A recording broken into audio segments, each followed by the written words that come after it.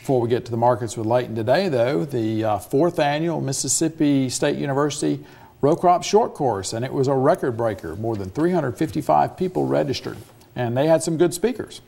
They did. You missed uh, this gentleman if you weren't there, Kip Cullers, who holds the world record uh, soybean production, 160 bushels per, per acre from Missouri.